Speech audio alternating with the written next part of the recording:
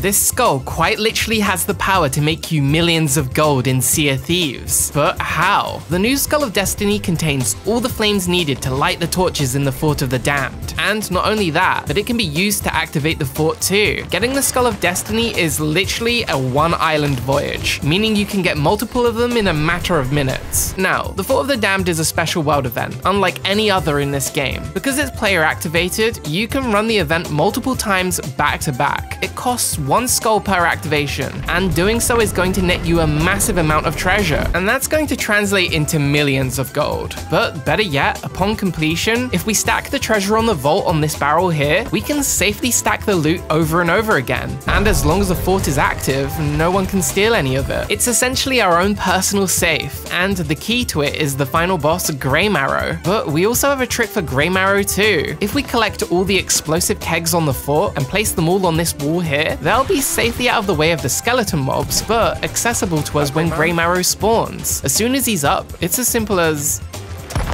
yeah. The vault will always contain a few stronghold kegs too, so you can repeat the process over and over again. One shot in Graymarrow every time. Now, let's return to the treasure vault for just a second. As long as everything's moved onto this barrel, you're going to be able to have a completely refreshed vault upon every activation. However, this game won't allow you to spawn multiple Reaper chests above the allotted amount, even if you stack them on the barrel. And besides, you wouldn't want people to count the Reaper chests on the map anyway, as it would be an easy way to tell you're stacking the event. No, what you're going to need to do is bury them. This not only removes them from the map, but also allows the fort to spawn more of them. And hey, you're gonna need 30 of them anyway if you want this weapon set. The only problem with this world event is that once people know you're stacking, well... Uh, there's a boat right next to us. In today's Tales of Getting Booty. Subscribe.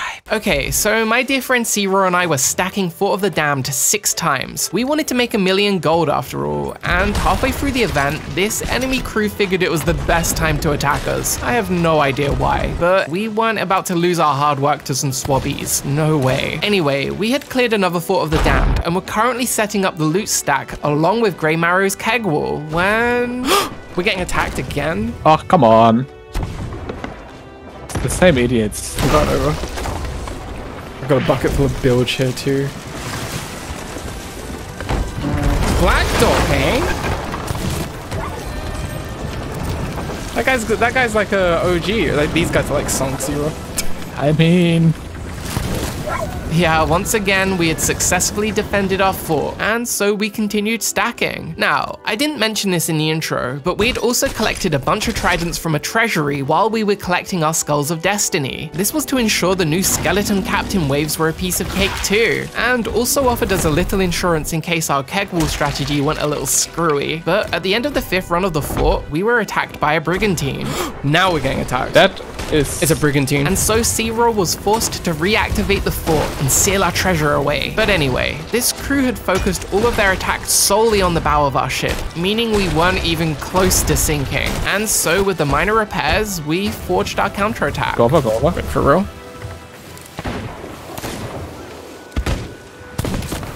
I killed him.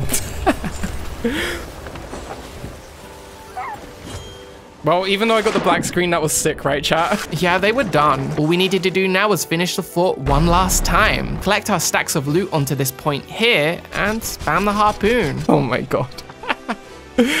oh, look at the loot. The Reaper chests would be left buried on the fort for now though, as we had no emissary raised and wanted to stay completely invisible. We'd be returning for those later, but I bet you're wondering, how do we intend to make a million gold without the Reaper emissary multiplier? Well, this is where fellow content creator John Bardcore comes in. John Bardcore is an absolute genius, and in two of his videos, he explores how merchant commodities work in relation to the Reaper's Bones emissary. Usually, commodities are sold to the Merchant Alliance at a corresponding outpost for maximum value. Selling commodities raises your merchant emissary flag grade. However, selling them to the Servants of the Flame will also raise your Reaper's Bones emissary grade. In short, we can collect 75 merchant commodities, that's 15 per outpost, bring them all to the Reaper's hideout, raise our Reaper emissary, and then sell the merchant commodities to max our Reaper emissary to grade 5 instantly, and then sell our 6 times stacked Fort of the Damned loot at full value, completely undetected. And so we set a course for five outposts, collecting up our merchant commodities. And we even ran into a fellow merchant who was willing to buy us another set of commodities, speeding up our collection process drastically. From one merchant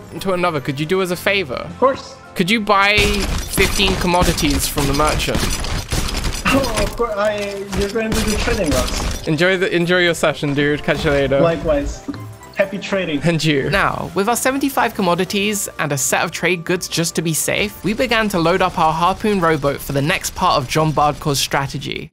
A Harpoon rowboat has the power to drag itself on land, meaning that we'd be able to bring our hundreds of loot items right to the servant's feet and sell it before you'd even notice a grade 5 Reaper emissary on the map. However, things were starting to feel unstable, like Sea of Thieves unstable. As I undocked the rowboat at Reaper's hideout,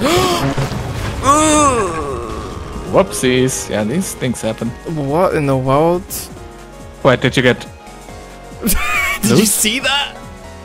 Nah, what happened?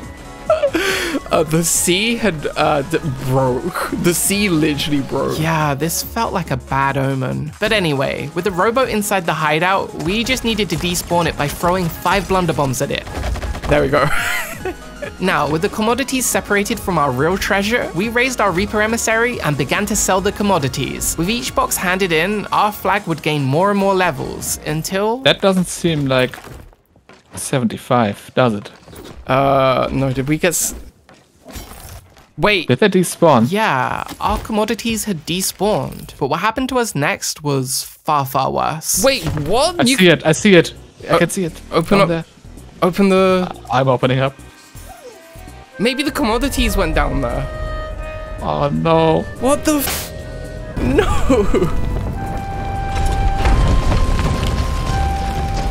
What the hell?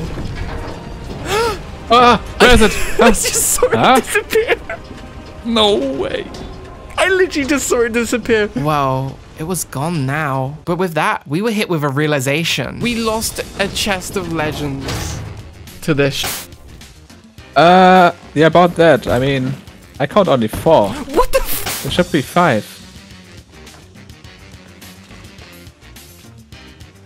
We lost all the loot. What? that, that explains where the commodities on- are. It's like despawning on us. Despawned, yeah. It's actually despawning on us. Crud. Wait, there's zero. There's only two left now. Wait. Wait. A setting. what? We had somehow found a glitch that had cost us millions in gold. And when we returned with our stash of Reaper bounties, it was confirmed. Our loot was in between dimensions. There, yet gone. Yeah. you can see it from outside the tent. Wait. And then you go in and it's gone. That is just. It's cruel. It's like, hey, hey, you can't have it. That's painful. Oh boy, this game. But if you'd like to see me make a crud ton of gold where I sell 30 chests of fortunes, then have a look at this video here. Thanks for watching and I'll see you in the next one.